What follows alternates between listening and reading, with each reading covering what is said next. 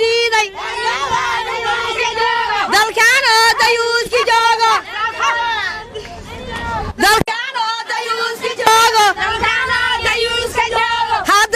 dadkan ayaa banaanbax ay uga soo horjeedaan madaxweyne maxamed cabdilaahi farmaajo. Waxay ka dhigayeen qaybo ka mid ah waddada maka almukarama dadka ayaa waxa ay wateen boorar ay ku qoran yihiin. Madaxweyne farmaajo maya doorasho xor iyo xalaal ah ayaan rabnaa inay dhacdo. Iyo ereyo kale ciidamo ka tirsan booliiska soomaaliya ayaa tegay halka uu banaanbaxa ka socday.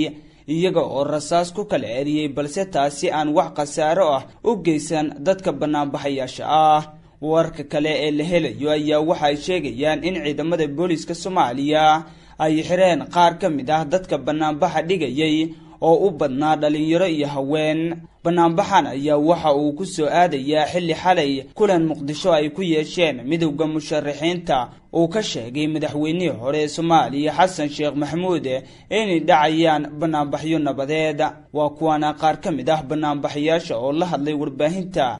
Halkan waxaa iskugu soo banaanbaxay waa hooyooyin soomaaliya oo ka dhiidhinaya in ay colaad dhacdo waddanka dib u dhaco burbur dhaco dhiig daato. Annaga maanta waxaan ka dhawaajinaynaa maxamed cabdulaahi farmaajo. Shalay annagaa u dhiibanay maanta inuu iska dhigo.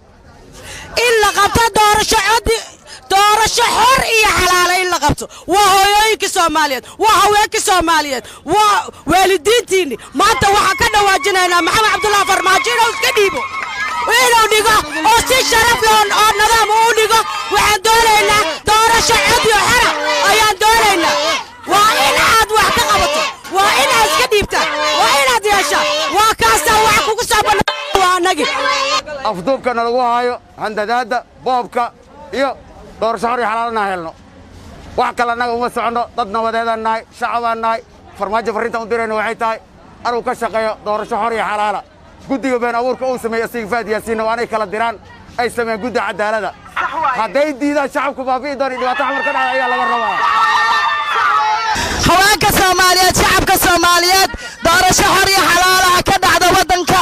Dib u haddaad noo celisane adigaa og akhtiyaar